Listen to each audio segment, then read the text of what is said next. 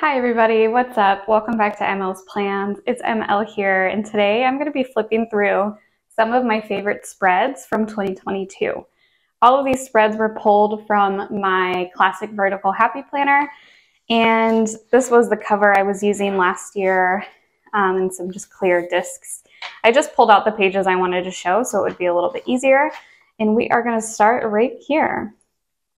So this was a really fun spread I did focusing on these fun hummingbirds and then I added in florals and some kind of like whimsical stars and things throughout.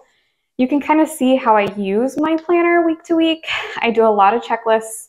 I focus on what do I need to get done at work, what I need to focus on after work, and where do I have some free time as well. Next is another fun spread. I don't really use yellow a lot in my planner. So this one I really enjoyed. I used some washi tape up here. That's this important layered on top of a yellow washi that was plain. I used a lot of the stickers from Girl Power, I believe, which is one I don't really use very often. But I really like the designs with the daisies and the sun, not the suns, happy faces and things like that. We are moving on into February. So this was um, my favorite murder themed. And in here, these stickers are from Echo Wood Designs. I believe so. I'll link their shop in the description. So if you want, you can get these stickers. I'm a big My Favorite Murder fan. I also like to uh, listen to Morbid as well. So I really like this spread. I believe Monday was President's Day or something like that. So I didn't need this section and I just started the week on Tuesday. Something that happens is I don't always go in my planner on the weekends and you'll probably see that as we go through this together, but I start to look at it less throughout the week. Um, my planner is typically open at my work desk and that's where I'm like filling out to-dos for work I'm thinking about what I need to get done after work or the next day. So I don't always take a look at this on the weekends. This spread is focused on books, which I love so much. The book pages and the illustrations, as well as some of these flowers are from Create with Mandy. And then I paired it with sophisticated florals for some of these boxes. This box is probably Mojo Jojo, just based off of the thickness. Um, sometimes I like to do my checklist like all across the middle or all across the top. I think it's a little bit easier to read. And I also like the look of it when um, my checklists are kind of like bouncing all over the page. So it really depends, but I really love the spread. I think something I'm noticing is this black grid washi is something I was really into this time last year. Coming up next, we have a fun floral spread where I primarily put the decorative um, elements around the edge of the spread and then the middle, which is boxes and checklists.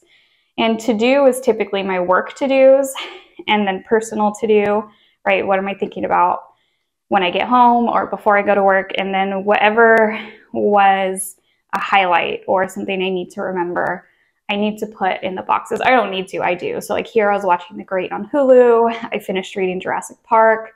I got dinner with a friend. I went to Popeyes opened up in my town. So we checked out the Popeyes. Really big things going on. So we're into summer now and I love how this spread turned out. Like I said, sometimes I like all of my checklists entirely across the page this one I use circles, which I usually don't for the boxes in the spread. I usually just like a, a normal box. But I think since it was flowery and beachy, the circles looked really nice. It kind of looks bubbly, I would say. So this was definitely one of my favorite summer spreads. I love these big palm leaves or monstera leaves.